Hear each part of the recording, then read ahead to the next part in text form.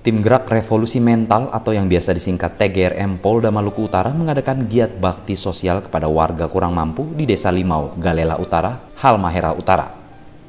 Anggota TGRM Polda Maluku Utara dalam bakti sosial kali ini memberikan bantuan sosial berupa sembako pada masyarakat Desa Limau yang kurang mampu.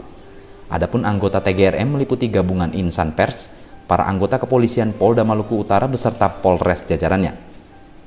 Kegiatan TGRM yang dilakukan di wilayah Galela Halmahera Utara selama 40 hari ini adalah dengan cara memberikan dakwah serta himbauan Kamtipmas serta mengunjungi masjid-masjid yang ada di wilayah tersebut.